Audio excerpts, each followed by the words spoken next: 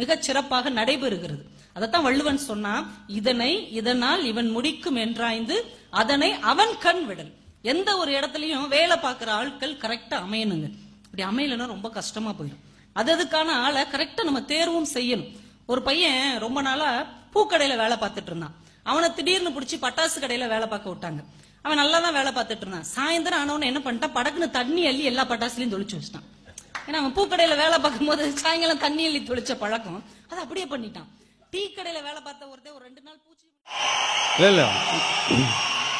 இதனை இதனால் இவன் முடிக்கும் என்றாய்ந்து அதனை அவன் கண் விடல். ஒன்னும் பயப்பட வேணாம். திருக்குறள் தான்.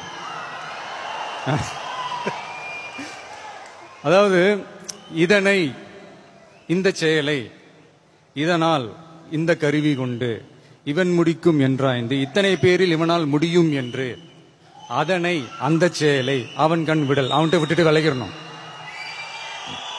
இப்ப மாத்தி கீத்தி விட்டீங்கன்னா இப்ப உதாரணத்துக்கு பூக்கடையில ஒருத்தன் வேலை பார்த்துக்கிட்டு இருந்திருக்கான்.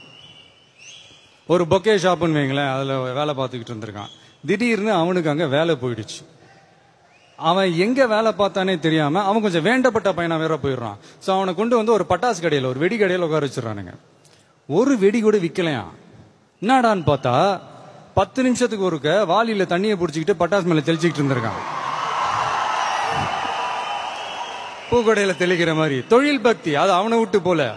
இது யார் மேல தப்பு? So the moral of the story is